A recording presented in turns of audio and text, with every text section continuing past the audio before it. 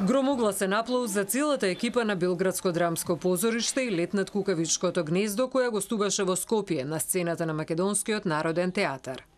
Представата е големо враќање на Драган Билогрлиќ на сцената на Белградско драмско позориште во легендарната црна хумористична сатира за поединецот во репресивното општество, слободата на духот и институциите за ментално здравје.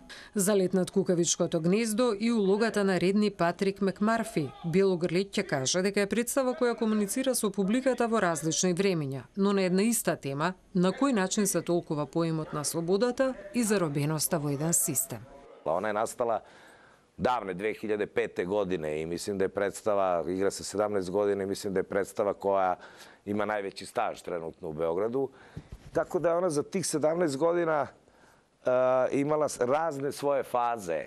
Međutim, to samo govori koliko je ona pre svega kvalitetna, koliko je to jedan dobar tekst, koliko ja mislim da je ova ekipa koja radila tu predstavu našla jedan dobar ugao čitanja tog teksta i taj tekst nekako dopire i aktuelan je i ljudi prepoznaju taj nedostatak slobode bez obzira u kojoj sredini se to igralo. Nisam od samog početka, ali sam dosta dugo, evo već neke 14 godina u, u, u postavi i prvo je dobar predložak, izuzetno, a onda je to dobro režirano, čvrsto postavljeno, tako da je umeđu vremenu dosta nažalost, zbog smrti ovaj, bilo uskakanje i svega, ali je predstava ostala i ne samo da je ostala, nego je predstava nastavila da raste.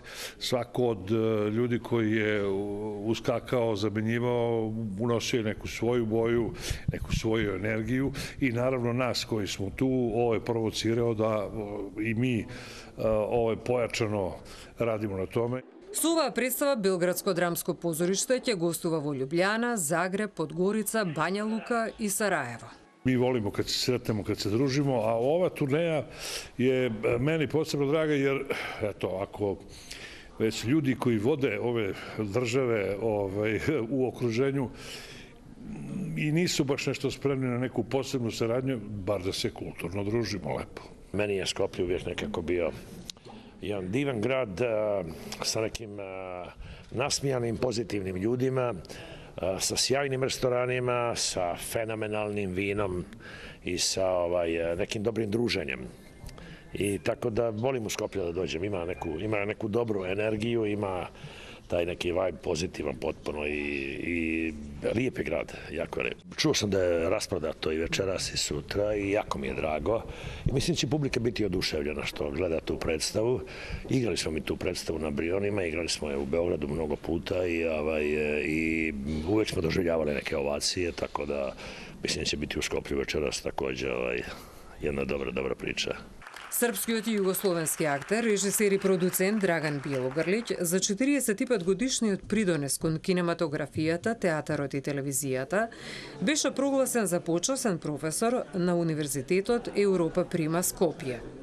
Во оваа пригода од Фестивалот на Југоисточна Европа, Париз, Берлин, Вашингтон, на Белогрлиќ му беше доделена престижната награда Европа Прима за 2022 година.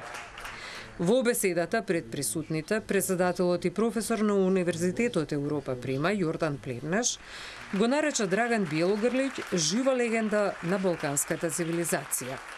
Со големиот број илјади гледач, што го видува вашиот најнов филм, Тома, во светските центри Париз, Берлин и Вашингтон, што вие со еден заграб на вашите раце ги освоивте во исто време, И до тога се знаеше, но тога се случи историскиот чин и се разбра на секаде ни светот, дека еден Белогрлич на Балканот станува жива легенда, токму поради долговековната духовна традиција, што ја нарекуваме балканска цивилизација.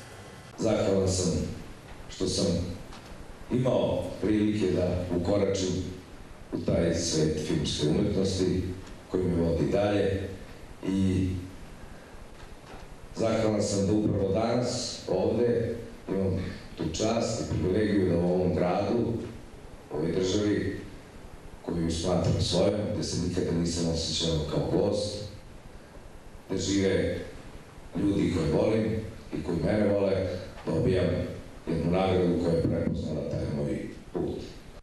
Светот на филмската уметност е тој кој колку и да ме повредуваше и разочаруваше животот, секогаш беше и остана моје прибежиште, кое ми дава надеж дека светот ќе биде подобар, рече Бело Грлиќ.